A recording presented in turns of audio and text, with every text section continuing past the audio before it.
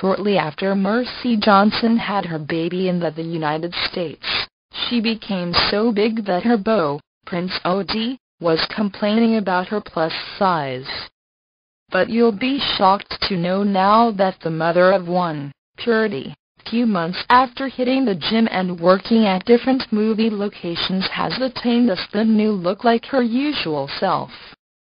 The actress posted few pictures of herself and her daughter during her recent visit to the office of the Bank of Industry.